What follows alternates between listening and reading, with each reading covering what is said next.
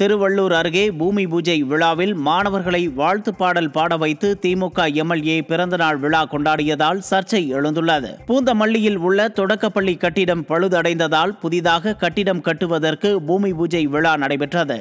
இதனை பூந்தமல்லி சட்டமன்ற உறுப்பினர் கிருஷ்ணசாமி சிறப்பு விருந்தினராக கலந்து கொண்டு விழாவை தொடங்கி வைத்தார். இதையடுத்து பூந்தமல்லி நகர்மன்ற உறுப்பினர் சவுந்தரராஜனுக்கு பிறந்தநாள் என்பதால் அவருக்கு கேக் வெட்டி பிறந்தநாள் விழா கொண்டாடியுள்ளனர். பள்ளி கட்டிட பூமி பூஜை விழாவில் மாணவர்களை வாழ்த்து பாடல் பாட வைத்து திமுக சட்டமன்ற உறுப்பினர் பிறந்தநாள் விழா கொண்டாடியதால் சிறிது நேரம் சர்ச்சை எழுந்தது.